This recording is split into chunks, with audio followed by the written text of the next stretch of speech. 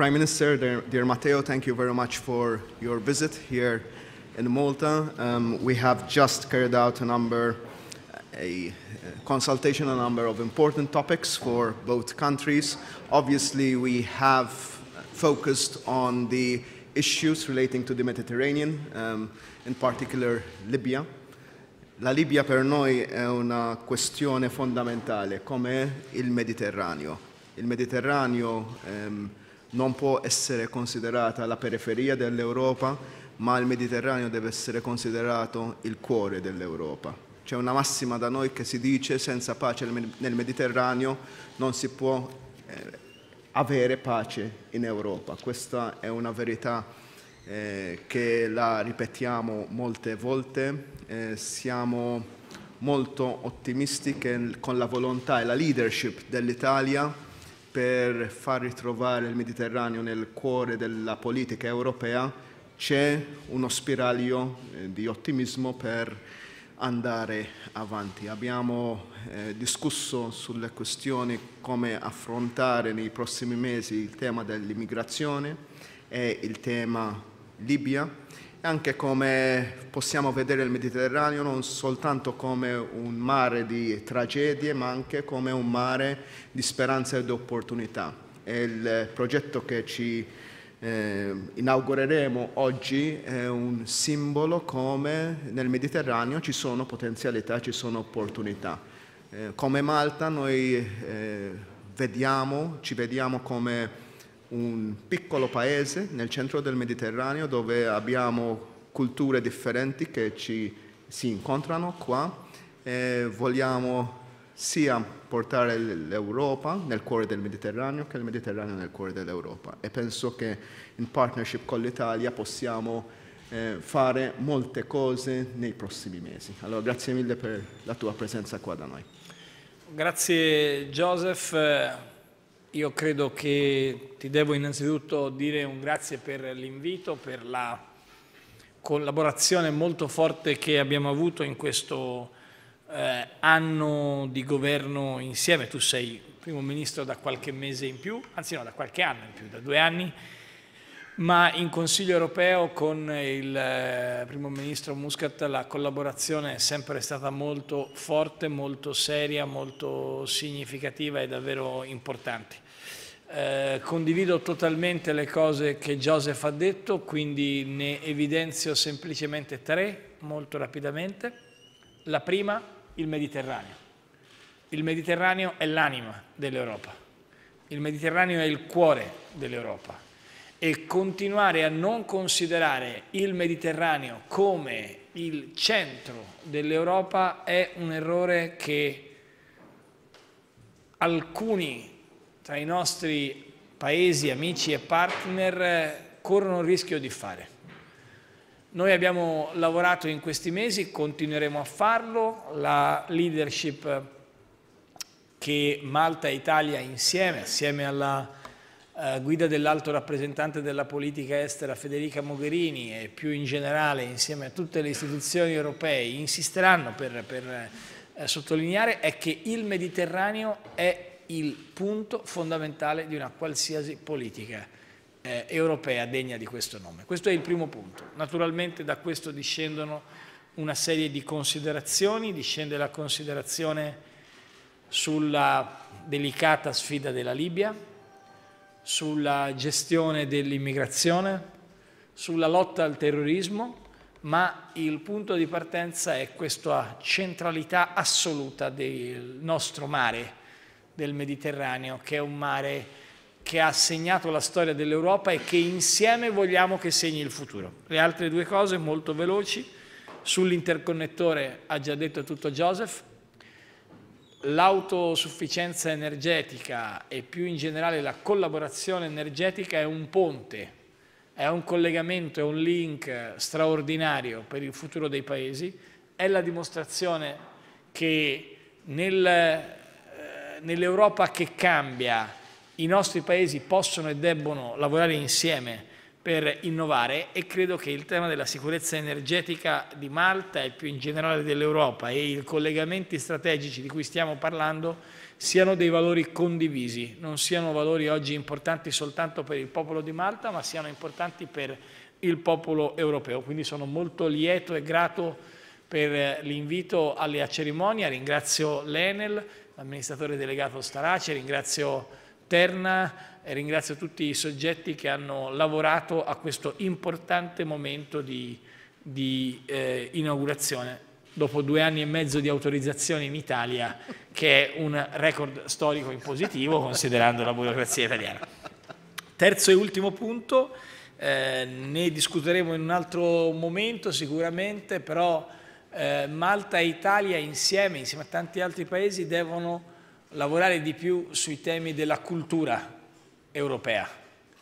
Eh, noi siamo in un luogo che è un luogo bello, un luogo simbolico, un luogo che racconta la storia di questo paese, eh, ma noi riusciremo a affermare i valori dell'identità europea se saremo in grado di affermare una grande sfida sulla cultura europea. L'Europa oggi è quella forza che può rendere il mondo più gentile, che può rendere il mondo più alto, che può rendere il mondo più capace di, di dare speranza. E in un tempo come quello che noi stiamo vivendo, la scommessa culturale da fare insieme è esattamente quella di riuscire a dare un'identità al grande sogno europeo. Perché questo accada naturalmente, dobbiamo investire sulle nuove generazioni, tante ragazze e ragazzi vengono a Malta per vedere la bellezza dell'isola naturalmente, ma anche per studiare inglese, ma anche per conoscere questa, questa uh, storia, abbiamo bisogno di non soltanto insegnare un pezzo di storia, ma insegnare un pezzo di futuro. E questo credo che sia il compito dell'Europa. Sono certo che con Joseph continueremo a farlo con ancora più determinazione. Questions?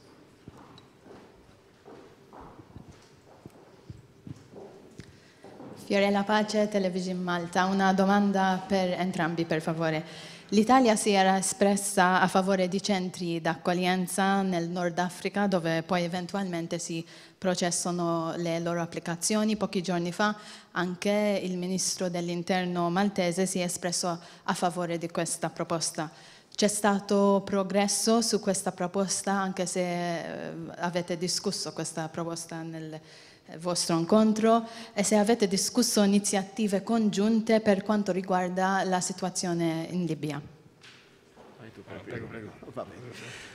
So um, the issue on the management of migration is a very, very delicate one. I think that at this point it is quite premature to um, say where any centers should be located, but rather the, um, the, the priority should be the securitization of Libya making Libya a safe country and making Libya a country where there is uh, no more um, strife as there is um, today. The situation in Libya is intolerable. It will lead to increased migration flows over the next uh, few months unless there is action. So our priority and the focus of our discussion was to see how we can, first of all, entice the international community to act even more. We are, we are, we are seeing a ray of hope in a government of at least partial national unity in Libya, if not total national unity. That should be followed up um, back to back with a United Nations Security Council resolution that would um, help Europe first and foremost. And I note positively the fact that during the last council meeting, we have given a mandate to Federica Mogherini to start discussions that are in the earnest to see how and when there is a government of national unity in Libya, how Europe will act. So no time will be lost to make up the preparations afterwards. That was the focus of our discussion, and we believe that, first of all, it's crucial that there is a European operation and not a one-country operation, and we're very satisfied at the fact that Italy is showing leadership also in this issue. Condivido il ragionamento che ha fatto Joseph, aggiungo che questo è un momento di svolta. La nostra priorità, lo ha spiegato il, il primo ministro Muscat, non è semplicemente quella di considerare questo come un tema soltanto dei paesi confinanti, ma cercare di portare la più ampia eh, collaborazione sia a livello di Nazioni Unite e anche naturalmente nel partire dal presupposto che un governo in Libia che tenti di portare quante più tribù libiche possibile, lui ha parlato di governo di unità nazionale, anche se non globale, almeno un governo di unità nazionale che coinvolga quante più tribù possibile, è un disegno strategico al quale tutta la comunità internazionale deve sentirsi obbligata. In altri termini, la Libia non è soltanto un problema di Malta, non è soltanto un problema dell'Italia. La Libia è un problema che riguarda tutta l'Europa e che se l'Europa non affronta diventa una sconfitta per la dignità delle istituzioni europee e internazionali, ma diventa anche un elemento di oggettiva pericolosità. In una cornice, quella che stiamo vivendo, dove tutta l'Africa crea, in tante altre, non tutta, in larghe zone, in molte parti dell'Africa ci sono momenti di, di grande difficoltà. In questo momento il ministro degli esteri italiano è in Kenya. Il nostro cuore piange con eh, i fratelli del Kenya per ciò che è accaduto con quelle 148 vittime all'università. Dunque esiste una minaccia globale che non riguarda soltanto la Siria, che non riguarda soltanto l'Iraq, che non riguarda l'Afghanistan o il Pakistan, ma che riguarda tutto il mondo e che tocca anche l'Europa.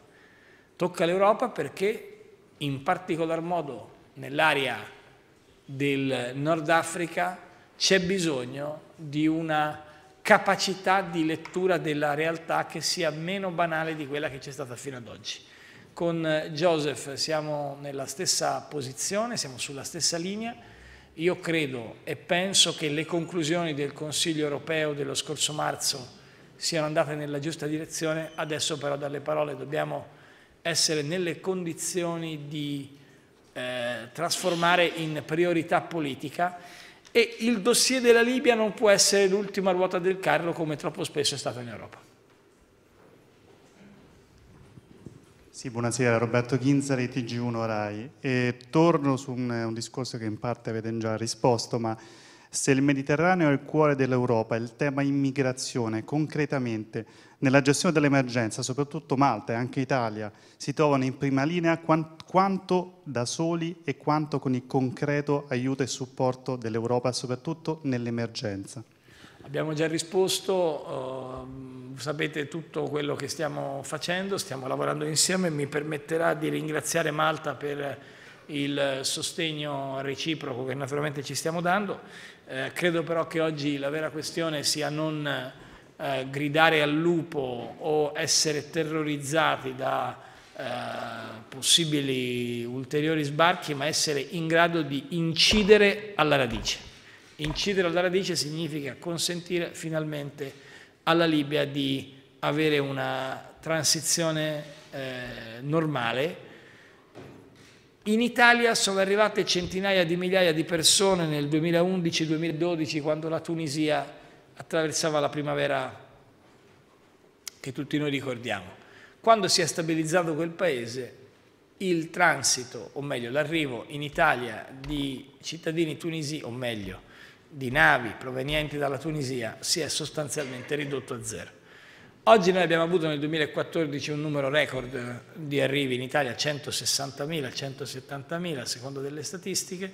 Nel momento in cui interveniamo in Libia è ragionevole immaginare che questo numero eh, crolli. Perché crolli c'è bisogno che le tribù in Libia facciano la pace. Perché si faccia la pace in Libia non è così semplice, in particolar modo in presenza di Daesh e delle organizzazioni eh, terroristiche internazionali e quindi c'è bisogno di una pressione della comunità internazionale. Questo è il metodo con il quale dobbiamo agire. Mettersi a discutere adesso ma cosa facciamo, cosa fa l'Europa, l'Europa mette dei soldi, dà una mano, noi stiamo portando l'Europa a intervenire di più, ma non si salva la questione dell'immigrazione semplicemente dando accoglienza a tutti quelli che vengono, si salva intervenendo alla radice nei paesi interessati e il primo paese interessato è la Libia e noi in Libia lavoriamo insieme di comune accordo con Malta. D'accordissimo, siamo sulla stessa lunghezza eh, d'onda. Per essere molto franchi, noi ci sentiamo abbandonati dall'Europa o ci sentivamo abbandonati dall'Europa fino a qualche mese fa, abbiamo, stiamo percependo una palpabile differenza con il nuovo commissario sulla migrazione, il greco Avramopoulos, che ha un, una comprensione maggiore della situazione mediterranea, questo lo devo sottolineare, io sono molto critico della Commissione, ma quando c'è un cambiamento in positivo lo devo eh, dare come, come credito. E la verità è a questo momento che, che l'Italia i, è che si sta facendo carico di queste responsabilità europee e noi come Malta siamo un piccolo paese, abbiamo degli assets militari molto limitati, ma il 100% delle nostre disponibilità militari e di guardia costiera sono tutte devote alla questione immigrazione. Noi, tutto il nostro budget della difesa va sulla questione immigrazione e per un piccolo paese questo è molto. Noi stiamo, stiamo facendo carico di responsabilità europeo, ma la priorità numero uno a questo momento è stabilizzare la Libia. Miriam Dalimorta today, Premier Renzi, um, la priorità è stabilizzare eh, la Libia, ma cosa aspetti dall'Europa se la Libia non si stabilisce? And Prime Minister, um, were there any discussions regarding oil exploration?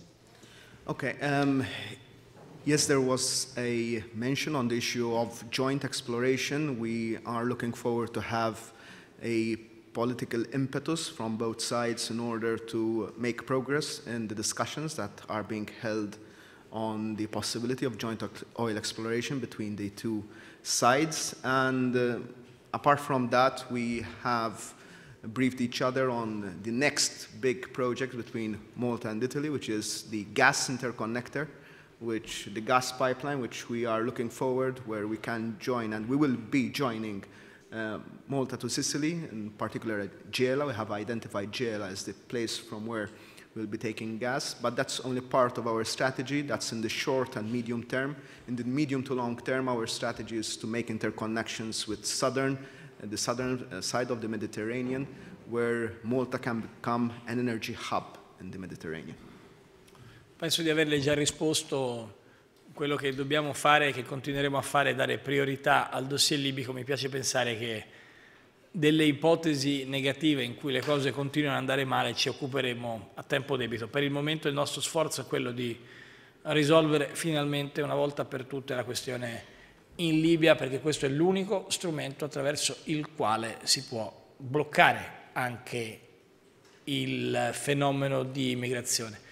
Aggiungo che prima ancora che per un fattore di immigrazione, evitare che ci siano i tagliatori di teste, evitare, come è accaduto in altre zone dell'Africa, che un ragazzo che va all'università viene ucciso per la sua fede, evitare che, come è accaduto a Mosul o in altre zone, una ragazza sia costretta ad essere venduta o alla prostituzione, non è semplicemente un fattore che va fatto perché è giusto, è una delle ragioni per le quali uno inizia a impegnarsi in politica.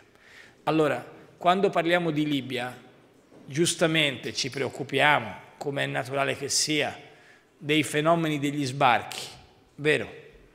Ma non dimentichiamo che le immagini che abbiamo visto, poteva essere Derna, forse era Sirte, non sappiamo ancora, con eh, quelle persone inginocchiate e uccise nel modo barbaro che abbiamo visto, non sono semplicemente un dolore al cuore momentaneo, ma richiamano alla ragione per la quale facciamo politica, che è quella di costruire un mondo più giusto. Quindi la questione libica per me è una questione che ha a che vedere con l'immigrazione molto concretamente, ma che risponde anche all'ideale per il quale ciascuno di noi oggi si impegna nella cosa pubblica.